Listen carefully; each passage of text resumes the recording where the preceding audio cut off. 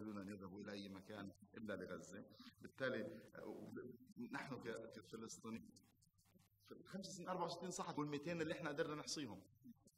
في مناطق هذا الجانب هذه أرقام صادمة ولكن الصادم أن نستغرب من ذلك.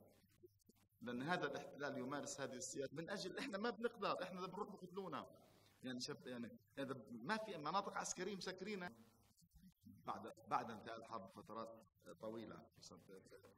في وجه غطرسة القرارات الأمريكية. مدينة غزة وشمالها بشكل كامل تم كل المؤسسات الثقافية والمسارح تم استهدافها بشكل بشكل كامل.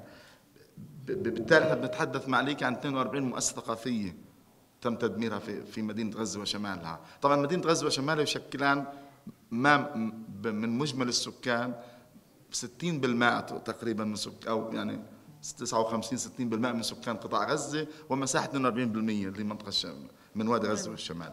بالتالي تم استهداف جميع المؤسسات الثقافية في مدينة غزة وشمالها استشهد حتى حتى اخر يعني إحنا حنصدر تقرير بعد يومين حول الشهر الثالث لخسائر القطاع الثقافي عم بحضروا فيه فريق الوزارة في غزة وفريق الوزارة برام الله. واستشهد أكثر من 45 فنان وكاتب وكاتب منهم كما ذكرنا الأستاذ سليم النفار الشاعر الكبير استشهد آه، بعض أطفال فرقة الدبكه فرقة أطفال وإحنا سجلنا معليك بدعم الأردن ودعم الأشقاء صحيح. الدبكه على قائمة التراث العالمي ولكن لم نتمكن من الاحتفال بهذا الانتصار الكبير لأنه كان في وقت الحرب يعني أجل أجل أجل قرار.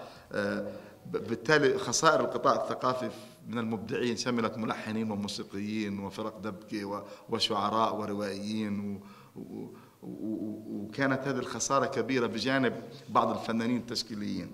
أيضا خسائر القطاع الثقافي شملت أن معظم الفنانين الفلسطينيين خسروا مراسمهم ولوحاتهم بالمناسبة وأنا قابلتهم كلهم يعني كلهم كانوا معي في منطقة النزوح في رفح وقابلت جملة كبيرة منهم. درر درر فنية تم تدميرها. لما تم تدمير جاليري اللقاء في شارع عمر المختار في مدينة غزة.